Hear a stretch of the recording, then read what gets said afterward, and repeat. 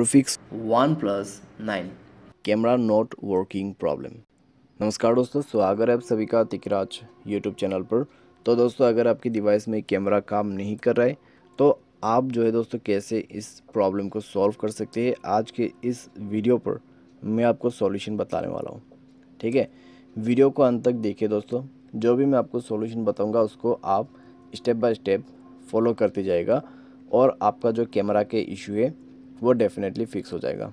ठीक है?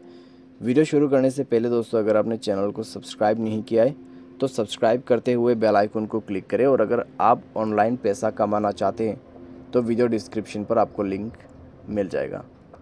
किसी भी प्रॉब्लम के रिगार्डिंग पर आप हमें ट्विटर पर फॉलो करके मैसेज कर सकते हैं। चलिए दोस्तों वीडियो शुरू करते हैं। तो दोस्तों, अगर आपके कैमरा के रिलेटेड कोई भी प्रॉब्लम आते हैं तो सबसे पहले आप मोबाइल को रिस्टार्ट कीजिए।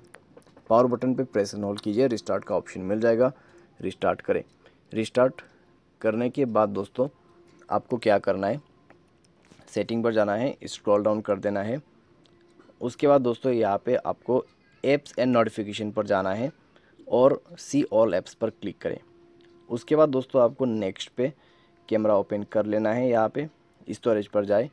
क्लियर स्टोरेज पर क्लिक करके ओके कर दीजिएगा। ठीक है? जैसे ही दोस्तों आपका डेटा क्लियर हो जाएगा, कैमरा का, आप बेक करें। दोबारा से जाके चेकआउट करके देखें दोस्तों प्रॉब्लम सॉल्व हो चुका होगा। बाय एनी चांस अगर आपका प्रॉब्लम सॉल्व नहीं होते तो मोबाइल को सेफ़ मोड पे रिबूट कर लीजिए। कैसे करना है? पावर बटन को प्रेस एंड होल्ड कीजिए। आपको ये ऑप्शन मिलेगा। पावर ऑफ़ के बटन पे दो सेकेंड क्लिक करके रखना है। दबा के रखना है वहाँ पे। आपको मिलेगा सेफ़ मोड तो आप ओके करके इसको फॉलो कर लीजिए। ठीक है? तो सेफ़ मोड पे रिबूट करके देखिए। अगर इससे काम बन जाता है, ठीक है। अगर इससे भी प्रॉब्लम आ रहा है तो आप दोस्तों जाइए सेटिंग स्क्रॉल डाउन सिस्टम पर क्लिक करें। सॉफ्टवेयर को अपडेट करके देखिए। सॉफ्टवेयर अपडेट करने के बाद दोस्तों, इस तरीके का जो प्रॉब्लम है, वो सॉल्व हो जाते हैं। ठीक है? बाई एनी चांस मान लीजिए सॉफ्टवेयर भी अपडेट करके देखा, सारे सॉल्यूशन फॉलो करके देखा, फिर भी आपके जो कैमरा है, वो काम नहीं कर रहा है।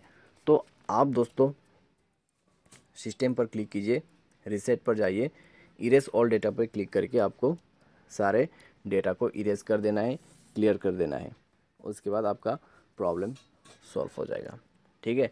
तो इस तरीके से आप अपने प्रॉब्लम को फिक्स कर सकते हैं। उम्मीद करते हैं आपको ये वीडियो पसंद आएगा थैंक्स फॉर वॉचिंग